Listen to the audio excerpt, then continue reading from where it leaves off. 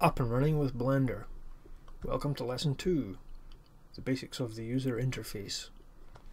When you start up Blender you'll see the default screen along with the splash screen which when you click on it will go away.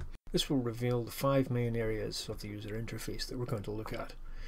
We'll start off with the middle area, the 3D viewport, and you'll spend a lot of time modeling and animating here.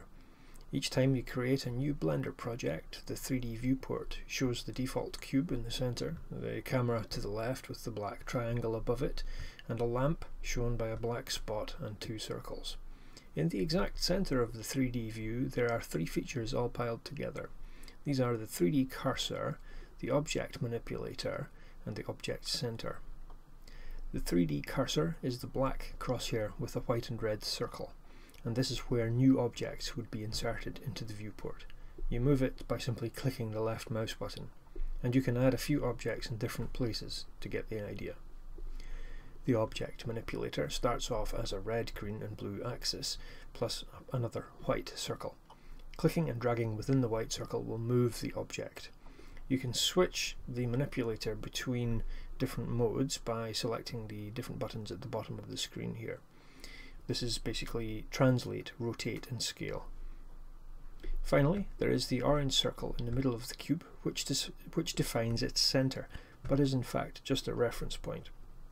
This can be the pivot point for rotations and so on. One final thing to note in the 3D view towards the bottom left of the area you will see a red, green and blue labelled XYZ axes. These can give a handy quick reference to see how the viewport is oriented as you work and we'll see how to change the orientation soon in the course. Next up, I'll look at the timeline, which is near the bottom of the screen.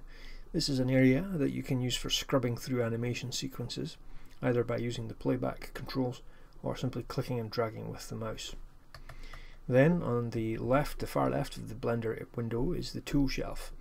The available tools will vary depending on what you're actually doing. So here we can see translate, rotate and scale, which would allow us to move or spin the cube in addition to using 3D manipulators to move or spin the cube, which we saw when we were introducing the 3D view.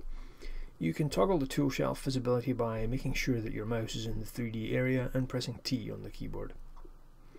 On the far right is the buttons window. Many powerful features are accessed through the buttons window, such as motion constraints, particle systems, and more basic features such as world conditions like sky color, camera properties, materials, and textures. Finally, the object properties area doesn't show by default, but if you put your mouse in the 3D viewport and press N on the keyboard, you can toggle it on. This area shows the relevant properties for the selected object.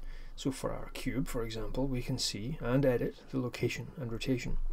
You can use the mouse wheel to scroll this area if there's not enough space to show all of the options.